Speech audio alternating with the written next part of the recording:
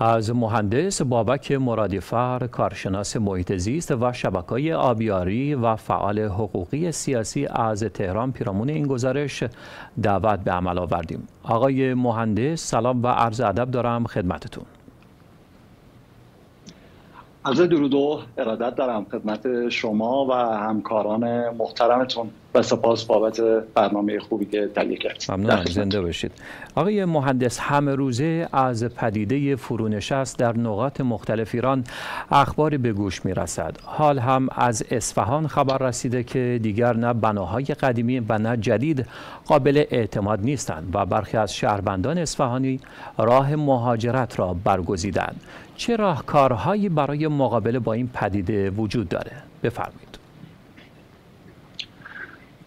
سپاسگزارم از همکارتون بابت برنامه خوبی که در واقع قبلش پخش شد و جمعوری کرده بودن اطلاعات رو. سال هاست که در واقع کنشگران محیط زیستی و مهندسین حوزه آب دارن هشدار میدن به اتفاقی که امروز می‌بینیم در واقع دیگه به صورت گسترده داره در سراسر ایران اتفاق میافته. سال هاست که بحث فرونشست زمین مطرح هستش. سال هاست که نگرانی تمامی در واقع فعالین این حوزه شنیده نشد و صداشون شنیده نشد. سالهایی که بیرویه چاهایی زده شد در این کشور. سالهایی که می‌بینین هر کسی با یک رابطه ای با یک ضابطه ای میاد یک چاه عمیق می‌زنه بدون هیچ کنترلی در دبی خروجی اون و در این فضایی که می‌بینیم آب نیست و آبخانهای ما در واقع دچار بی آبی شدن و سدهای ای که زده شده و اونور در واقع پشت این سدها ما با یک تبخیر زیاد آب مواجهیم. جایی که از حساب پسندازمون یعنی همون آبای زیرزمینیمون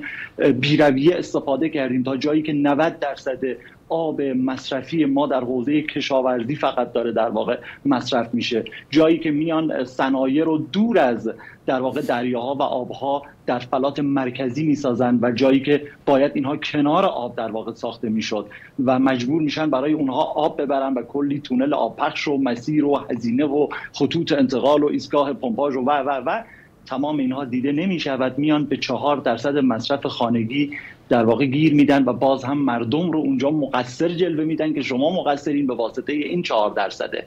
واقعیت این هستش که سالهاست سالهاست که داره صحبت میشه راجع به راهکارهایی که جلوی این رو در واقع بگیرن جلوی این فرونشست رو بگیرن یک مقطعی شروع شد چاهک هایی رو در واقع زدن به عنوان یک کاری که می‌تونه به صورت کوتاه مدت جواب بده یعنی بیان در یک چاهایی رو در فلات مرکزی در جاهایی که ریزش باران هست بله. در مناطق کوهستانی به عمقهای مختلفی بزنن که این بتونه در واقع اون پسنداز ما رو اون در واقع لایه های زیرین ما رو قرقاب کنه و اونجا ما شارژ بکنیم آبهای زیر زمین بله. یک مقطعی انجام شد کنم دو سه ماه و بعد هم تعطیل شد و عملا وضعیتی است که امروز دارید ممنونم. با تشکر از مهندس بابک مرادیفر کارشناس محیط زیست و شبکه آبیاری و فعال حقوقی سیاسی از تهران که دعوت ما را پذیرفتند.